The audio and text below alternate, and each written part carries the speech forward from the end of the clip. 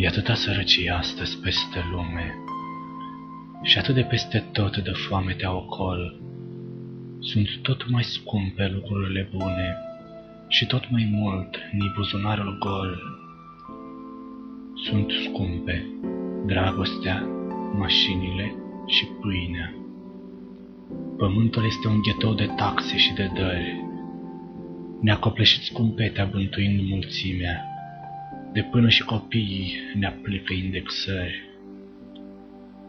Poate că mâine pământenii toți vor fi șomeri, în timp ce totul se transformă în faliment. Un singur lucru însă nu-i mai scump ca ieri. Doar rugăciunea e la fel de gratis în prezent. Doar rugăciunea a scăpat de indexări, doar ea va fi mereu străină de dobândă.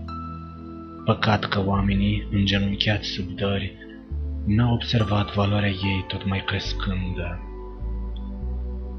Prin zgomot de război și de răscumpărări, e tot mai multă suferință căutând răspunsul, și curios că muritorii a plecat sub căutări își pleacă tot mai rar și greu genunchiul.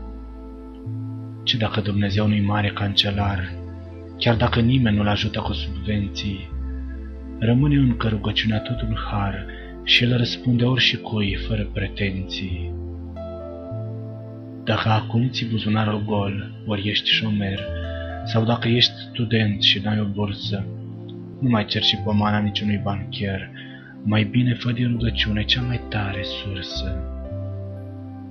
A fost interpretată poezia Scutire de TVA, scrisă de poetul Daniel Chirilean.